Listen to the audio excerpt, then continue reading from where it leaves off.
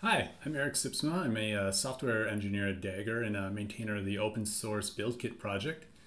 Uh, today I'm going to talk about modeling CI/CD workflows as something called directed acyclic graphs, shortened to DAGs. Um, and so DAGs are an abstract concept, but they actually have very practical benefits that let us basically unify a couple different tools together um, that would otherwise be totally distinct but we can combine them and make a really powerful CI/CD tool. Um, and that's the whole idea behind Dagger. So these open source tools I'm going to talk about are uh, called BuildKit and Cue. I'm going to talk about how they can be used on their own, what their strengths and weaknesses are, and then how they can be combined together. Uh, so yeah, I'll be available in the PlatformCon Slack channel today for any questions you might have. But let's get going here. So yeah, just a review on what's a DAG. Uh, it stands for Directed Acyclic Graph, like I said. Very fancy word just to represent a system of dependencies. So really simple, concrete example. You want to eat dinner. That's a vertex here. Uh, in order to do that, you have a dependency on cooking and doing the dishes first. So you draw what's called an edge. It's just an arrow um, between there. Uh, those vertices to represent the dependency. And then each of those can also have their own dependencies too. Um, so yeah, really very simple at the end of the day. The acyclic part specifically means that we want satisfiable dependencies, not circular ones. So getting a job requires getting experience, requires getting a job. That's not a DAG. It's not satisfiable. Uh, we can't we can't deal with those. So that's why we're interested in acyclic specifically. Um, other examples of DAGs are makefiles, um, package managers used in Linux distros, and CI/CD, which is what we're going to be talking about here today.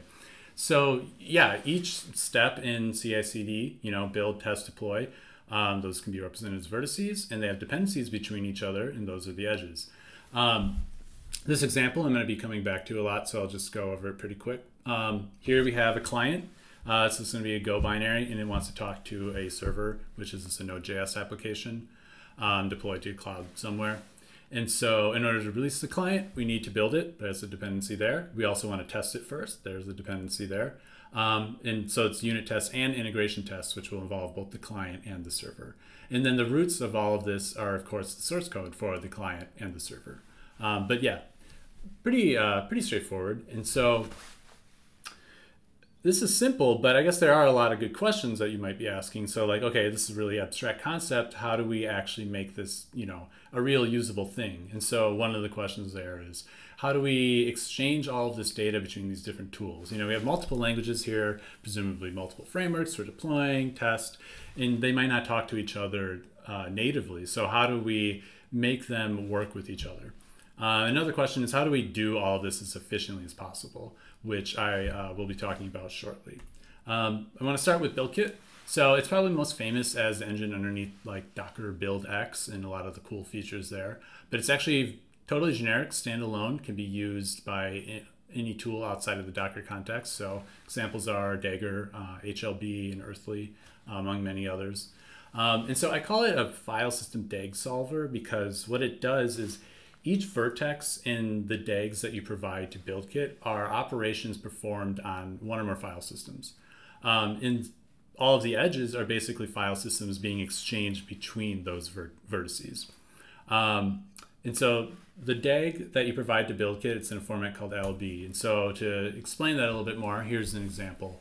Um, so here we have uh, just the client step, uh, just kind of isolating that. So there's a source op in LLB that lets you import data from an external source. Um, so here we're export, or importing an image that has the Go tool chain. Uh, we also want to import our actual code from GitHub.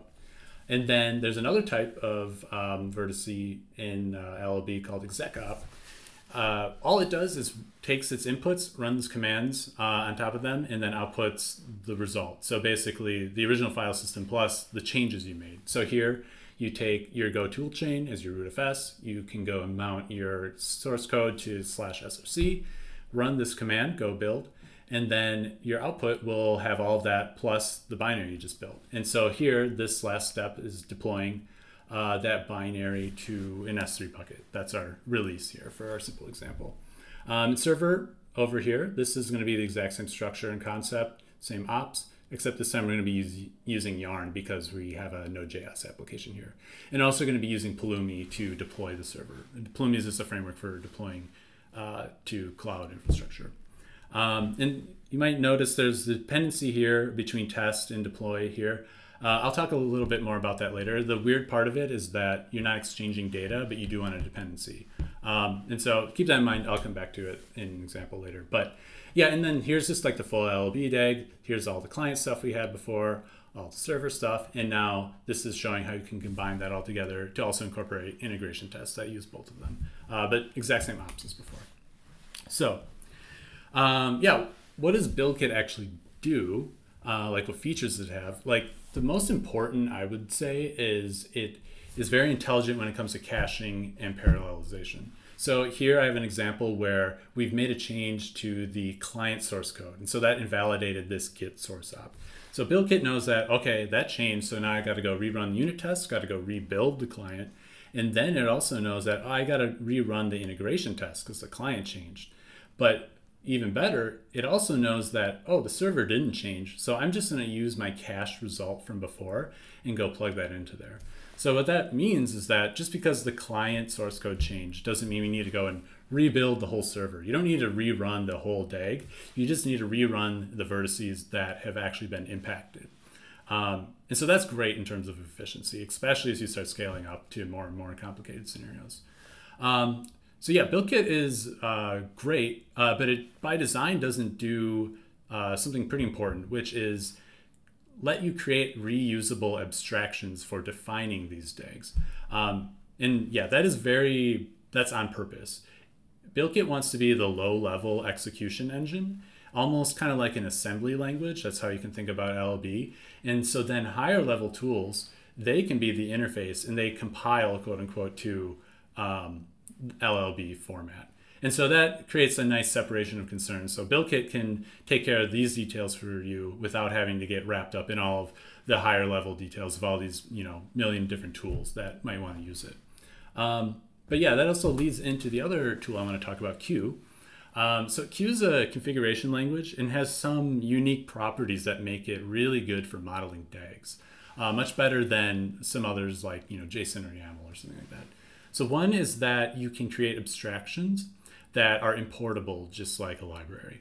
Um, so this lets you define vertices in a way that's reusable, uh, which is great. You know, you don't have to rewrite go build or go test or yarn test. You don't have to rewrite the implementation for all of that every single time. You can just go and import it and then use that. And the other really important part of this is um, that those definitions, those abstractions are specified as a schema, which is type checked. So that means that someone using your abstraction, you're telling telling them these are the inputs I'm expecting. Basically, in DAG terms, these are the edges that I'm expecting coming in. And this is the shape of the data that I'm going to export out, you know, the outgoing edge. And that's great because that gives you confidence that when you're writing the configuration, it's actually valid and correct.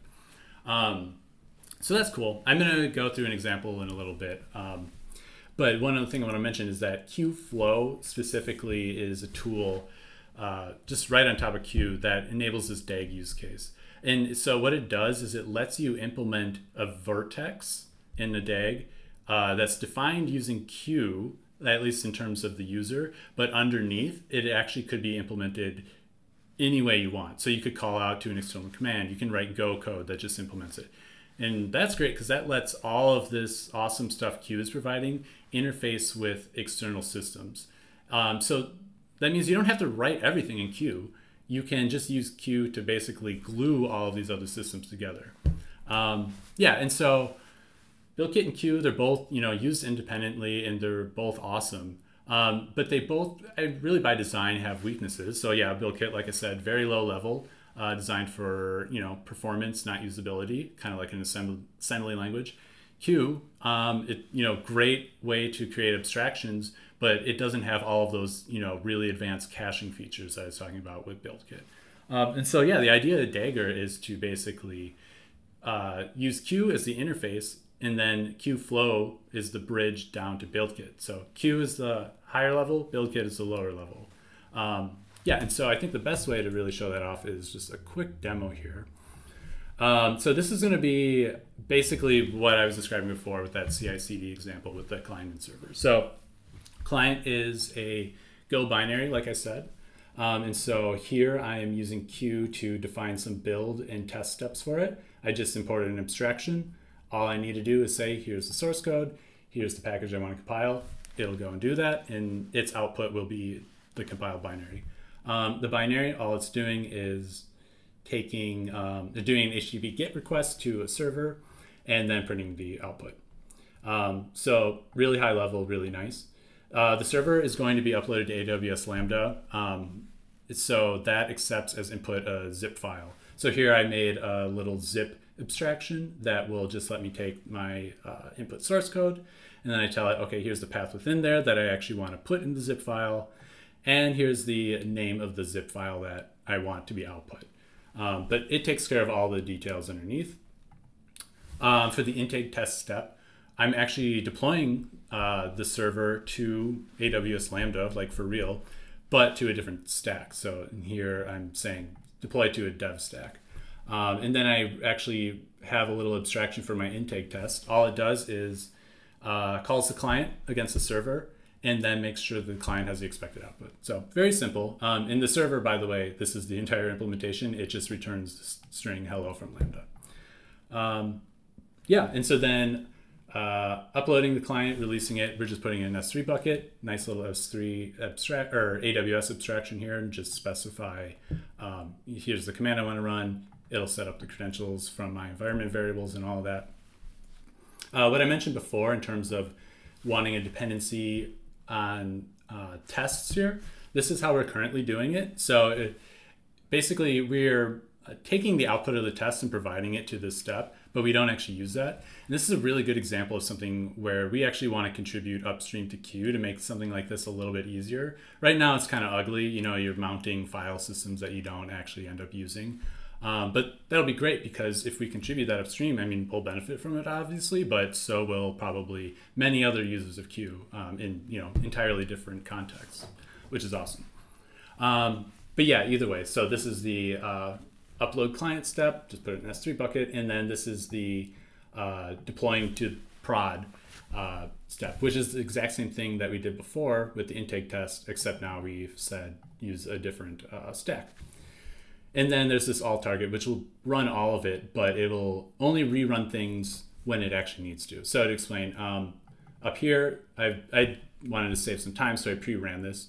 This was a clean deploy, took you know a little over two minutes, um, and so it you know built the client, built the server, built everything, and you can see here in the Lambda console, those are our AWS Lambda functions, and here's the S3 bucket with client in it. Um, and then I reran it. Uh, it was very quick this time. Not you know didn't only took a couple seconds to check the cache because nothing changed. And so then I could also call the client against it, and you can see okay, yep, it actually works. But what I want to demo really quickly is what happens if I actually change the client. So I'm going to say, okay, now it's going to say foo first and then print out the uh, body returned by the, uh, the server. Um, and so I'm also going to be careful to update my intake tests. So I need to say foo here, otherwise these will fail. Um, but yeah, and so now I'm just going to go rerun this. Um, and so the whole point here is that it's going to update everything that had to do with the client, but it will not go and you know redeploy the whole server. Um, so yeah, like all of the server stuff didn't have to be redeployed. It already finished executing. Took a little bit longer than this step because it did have to rebuild the client and then re-export it uh, here. Uh, but now it passed and we can see, yeah, foo, hello from Lambda. So everything worked as expected. Um, yeah, so what we learned today is that CI/CD workflows are DAGs. Um, BuildKit is a DAG execution engine. Cue can be used as a DAG definition language. And then Dagger is trying to unite them into one powerful platform. But each of these parts can be used, you know, by any sort of tool you want.